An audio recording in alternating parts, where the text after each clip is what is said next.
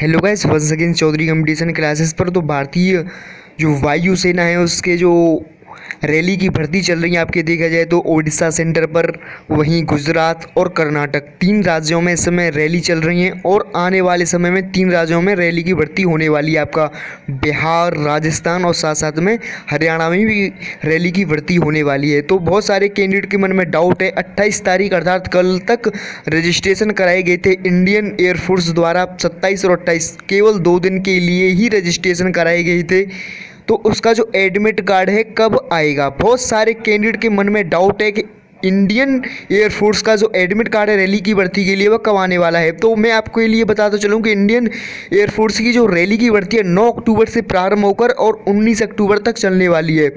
तो लगभग I hope चार से पाँच दिन पहले आपका इंडियन एयरफोर्स का जो एडमिट कार्ड है रैली की भर्ती का वह शो कर दिया जाएगा। तो आप बिल्कुल निश्चिंत होकर तैयारी करते रहें, क्योंकि आपका सबसे पहले पीएफटी ही कराया जाएगा। पीएफटी में आपको बताता चलूँ कि पीएफटी में आपको 1600 मीटर की दौड़ क्लियर करनी पड़ती है। साढ़े जबकि आपको साढ़े छः मिनट का टाइम मिलता है। वहीं आपका जो सेकंड जब टर्म आता है तो आपको टेन पुशअप लगाने पड़ते हैं।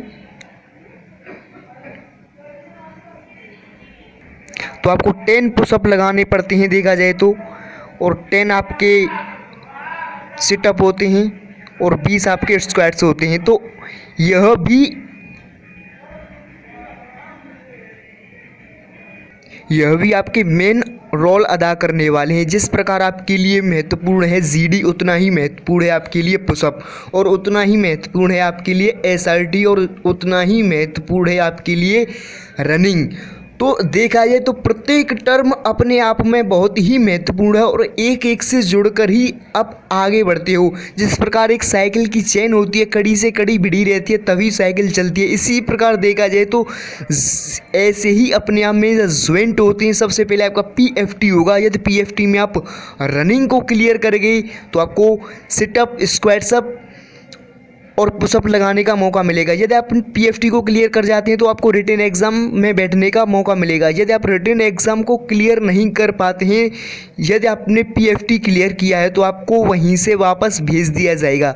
तो आपके लिए उतना ही महत्वपूर्ण रिटर्न एग्ज़ाम है। रिटर्न एग्ज़ाम को जैसे ही आप क्वालिफाई करते हो, आपको तुरंत ही एट्टी के लिए क्वालिफाई किया जाता है। जैसे आपको 81 अर्थात आपका एसआरटी होता है सिचुएशन रिएक्शन टेस्ट और सिचुएशन रिएक्शन टेस्ट में जैसा कि आपको मालूम है 45 क्वेश्चन इन 30 मिनट में करने पड़ते हैं। जबकि आपका 82 होता है ग्रुप डिस्कशन। ग्रुप डिस्कशन देखा जाए तो आपका पहले आपको इंट्रो देना होता है और जिस, जो टॉपिक आपको वहाँ दिया गया होता है उससे रिलेटेड आपको कुछ शब्द वहाँ बोलने पड़ते हैं। तो यह सब कुछ टर्म ही अपने आप में महत्वपूर्ण है। मेरा कहने का मतलब यह है। तो आप किसी को भी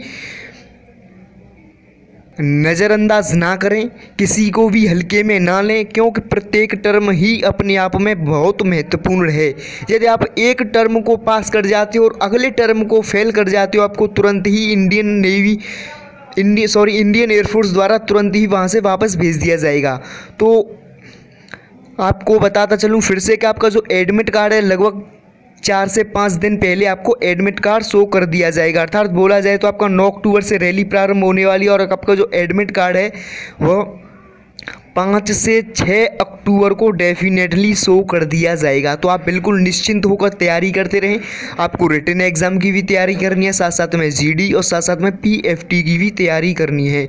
तो राजस्थान, हरियाणा और जो कैंडिडेट बिहार से बिलोंग करते हैं उनके लिए बहुत ही बेस्ट ऑफ़ लक आपके लिए बहुत ही सुनहरा मौका है। आप इस मौके को अपने हाथ से जाने ना दें, क्योंकि आपने देखा था रजिस्ट्रेशन के समय क्योंकि आपने देखा था कि रजिस्ट्रेशन के समय काफ़ी समय लगा था। केवल दो दिन ही हमको मिले थे। हम इतने परेशान हुए थे कि बहुत ज़्यादा। लेकिन आप इन सभी सवालों को मन में ध्यान रखते हुए आप अपने जो एग्ज़ाम है, उसकी तैयारी करें और आई होप अपने एग्ज़ाम को क्लियर भी कर पाएँगे। तो thanks watching for this video और साथ साथ में चैनल को भी सब्सक्राइब कर लें।